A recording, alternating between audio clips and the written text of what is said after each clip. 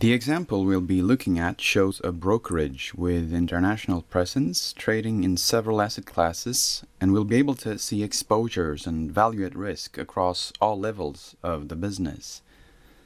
The scenario assumes that value at risk numbers are pre-calculated externally from Panopticon and at each level since the non-additive nature of VAR prevents aggregation of lower level VAR values outside of the VAR calculation engine.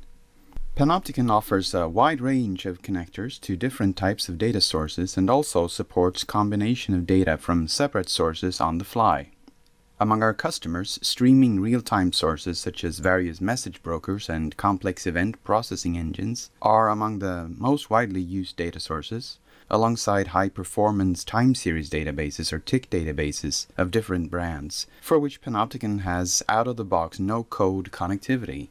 This is an example serving to show the few settings required to configure a subscription from a streaming data source. There's very few settings to make before you can bring in streaming data into the Panopticon interface. Panopticon also offers stream processing capabilities, much along the same principles as well-known complex event processing engines. A stream processing application is created by building up a graph of nodes, starting in one or several input nodes and ending with one or several output nodes. The nodes in the stream will do things like aggregating, branching, calculating, conflating, filtering, joining, or applying transforms powered by, for example, Python.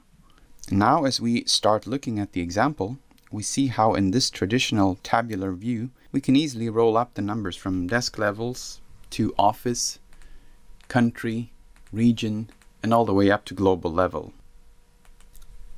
We can also filter on asset classes, for example focusing on just equities, and combine that filter with a particular region, for example Europe.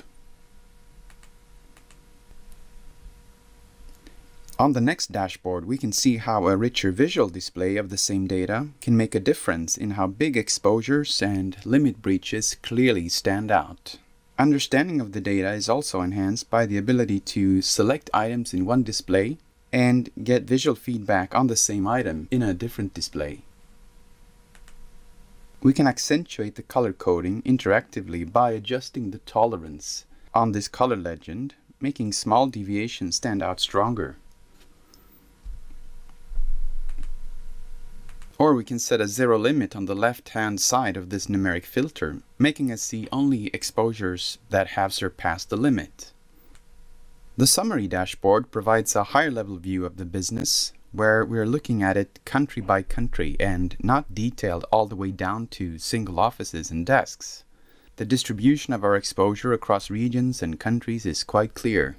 We get a good understanding of country level exposure distribution, as well as value at risk on one day and 10 day. The exposure heat map lets us know in what regions we're not holding particular asset classes, and more importantly, how we are in our exposure relative to limit.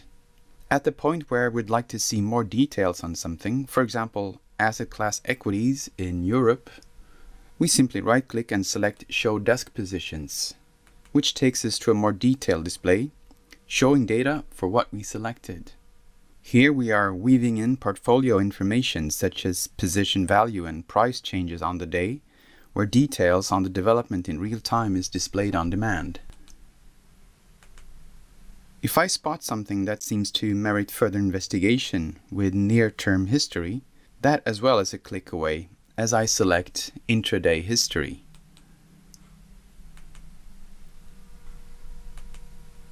In the intraday historic view, the data is barred or conflated at the level of my choice, here starting with 300 seconds or 5 minute bars.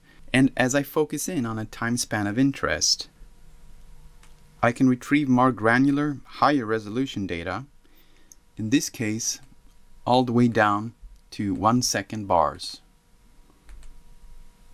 You can also build displays that utilize automatic barring, meaning that you will always see a fixed number of data points or bars with a variable bar size that changes as you zoom in or out on the time span using the time filter.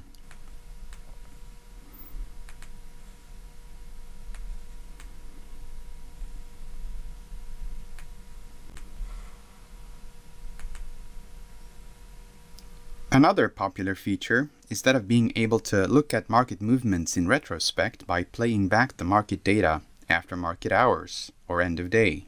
Here we're loading historic data conflated into one minute bars that we can either step through manually, minute by minute, or we can fast forward through it automatically.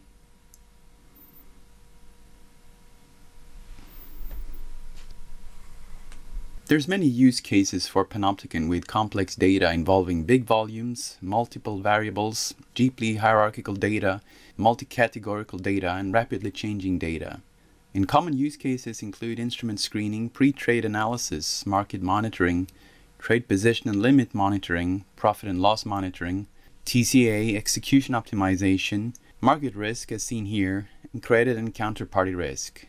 Panopticon works out of the box with most complex event processing engines and tick databases on the market.